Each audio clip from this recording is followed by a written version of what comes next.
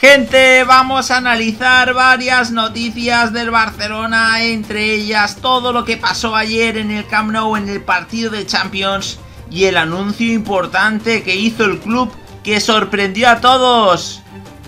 ¡Vamos a ello!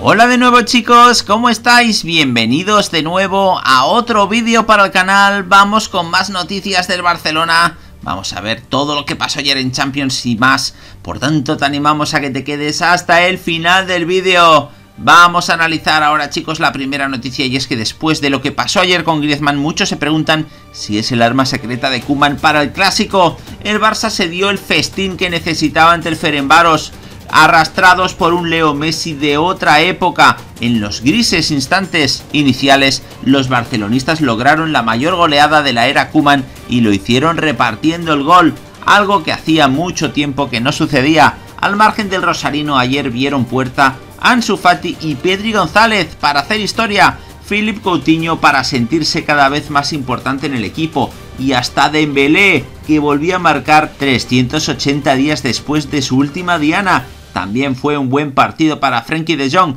que el pasado sábado provocó el ingenuo penalti con el que el Getafe se quedaría los tres puntos en la liga y volvió a sonreír como hacía tiempo que no se le veía. Incluso secundarios como Francisco Trincao y Miralem Pjanic fueron de menos a más para dejar un buen sabor de boca antes de recibir al Real Madrid. Sin embargo, hubo uno que no esbozó la más mínima sonrisa, pues Griezmann se quedó en el banquillo y el técnico no le dio ni un solo minuto tras cumplir en Getafe un ciclo de 18 partidos en los que apenas ha marcado un gol y lo que es peor, solo ha rematado tres veces a puerta. Comentó su suplencia no significa nada, dijo Kuman. Optamos por Trincao y luego por Dembélé para tener profundidad y velocidad. Deslizó para recordar que el sábado será otro partido. Buena prueba de que tiene algo en mente, aunque no soltó prenda al respecto, pero se le entendió bien y no es atrevido pensar en que Griezmann será titular frente al Real Madrid y que lo del Ferenbaros no fue ni un castigo ni la constatación de que Trincao ya está por delante del Galo, sino todo lo contrario. Por tanto, chicos, veremos el próximo día contra el Real Madrid si ha sido un castigo o lo que es más probable que le haya dado descanso al francés. Vamos a hablar ahora, chicos, de todo lo que comentó Ronald Koeman tras el partido. Y es que, como decimos, el Barcelona tuvo un gran estreno en Champions goleando por 5-1 al Ferenbaros que dejó satisfecho a Kuman. El entrenador azulgrana compareció en la sala de prensa para analizar el encuentro y aunque volvió a mostrarse autocrítico, también fue optimista de cara al futuro, satisfecho por el rendimiento de sus jugadores Ahora tocará pensar en el clásico. Al técnico culé, sin embargo, no le causan dolor de cabeza. Comentó, en general no estoy preocupado por el partido del sábado. Hemos hecho un buen encuentro, aunque costó entrar. A veces tenemos el problema de que si bajamos la intensidad y dejamos jugar a los contrarios, estamos en problemas. Si mandamos en el ritmo, somos muy buenos. Hubo un gran Barça en los primeros 20 minutos de la segunda parte. Hay que destacar cómo ha jugado el equipo con uno menos. Somos capaces de aguantar y de hacer goles con uno menos. Ronald Koeman analizó el funcionamiento del centro del campo tras la primera titularidad de Miralem Pjanic. Comentó al respecto, el sistema depende de la calidad de los jugadores. Podemos jugar con dos pivotes, un 10 y extremos. Hay competencia en ese sentido. Hoy ha jugado Pjanic, que cuando llegó estaba por debajo de los demás y ahora está cerca del 100%. Sabemos que con Frenkie de Jong y Busquets hay competencia, pero está claro que podemos jugar desde ese sistema. Como no podía ser de otra manera, se mostró orgulloso por el rendimiento de jóvenes como Ansu Fati o Pedri. Comentó, podemos estar contentos por la evolución de los dos jugadores. Sabemos qué edad tienen. Pedri siempre aporta algo por su naturalidad, por su juego, por ser listo. Estamos contentos. No solo por eso, tienen un gran futuro en el club. Además, lamentó la expulsión de Gerard Piqué que hará que se pierda el partido contra la Juventus. Comentó, siempre quieres tener todo el mundo disponible. La roja es demasiado castigo.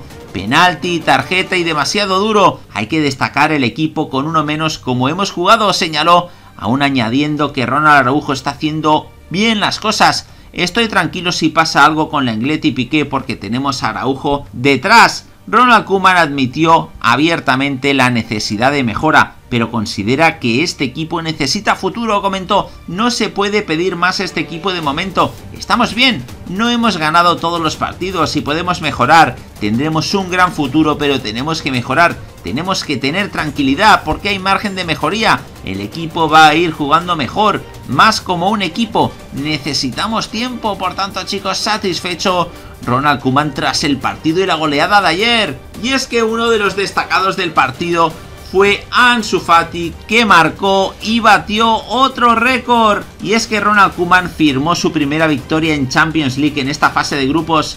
El Ferenbaros, como decimos, no fue rival para un Barça en el que además de Leo Messi brillaron los jóvenes, como decimos, entre ellos Ansu Fati, que volvió a tomar un protagonismo perdido en los últimos días. El extremo anotó el segundo gol del cuadro azulgrana con una buena volea, algo que le llevó a alcanzar un nuevo récord ya es el jugador más joven de la historia de la Champions en llegar a una segunda diana en la competición con 17 años y 355 días, pero lo que llamó más la atención fue su celebración. Tras agradecer el pase a De Jong, Ansu se dirigió a una de las cámaras, realizó un claro gesto de una cuna de bebé, pero ¿a quién iba dedicado? El joven delantero culé se acordó en el momento de su sobrina, Milena Fati, con la que subió una fotografía a sus redes sociales. El pase de Frenkie fue muy bueno y mi dedicatoria fue para mi sobrina. Mi hermano mayor tuvo una niña, confirmó Ansu Fati en zona mixta, por tanto chicos, un Ansu Fati que sigue batiendo récords en Europa.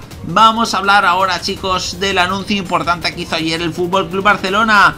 Dice así, el Fútbol Club Barcelona y los jugadores del primer equipo, Gerard Piqué, Marc-André Ter Stegen, Clement Lenglet y Frenkie de Jong han llegado a un acuerdo para la ampliación de sus respectivos contratos.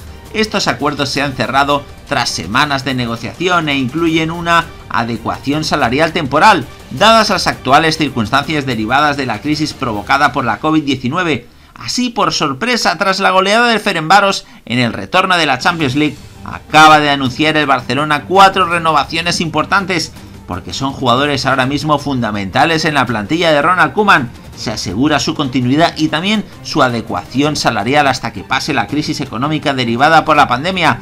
Movimiento importante también en esa negociación selectiva que mantiene la plantilla culé. La renovación más corta, como es lógico por edad, es la de Gerard Piqué, que firma hasta 2024 con el conjunto azulgrana y con 500 millones de euros de cláusula de rescisión, la misma que tendrá Marc-André Ter Stegen, blindado en su caso hasta 2025, un año más hasta 2026, firman Lenglet y Frenkie de Jong, aunque con diferentes precios de salida, el primero 300 millones, mientras que el mediocentro holandés la tendrá fijada en 400 millones de euros. Y es que aquí podéis ver el tweet en la cuenta oficial del Barcelona en la que anuncia las cuatro renovaciones. Nos gustaría saber vuestra opinión al respecto, qué os parece esta renovación múltiple de jugadores del Barcelona. Por favor, dejadnos vuestra opinión en los comentarios. Nada más por el momento, como siempre, animaros a dejar un buen like al vídeo, a suscribiros al canal, si aún no lo habéis hecho, y a darle a la campanita de notificaciones. ¡Hasta la próxima!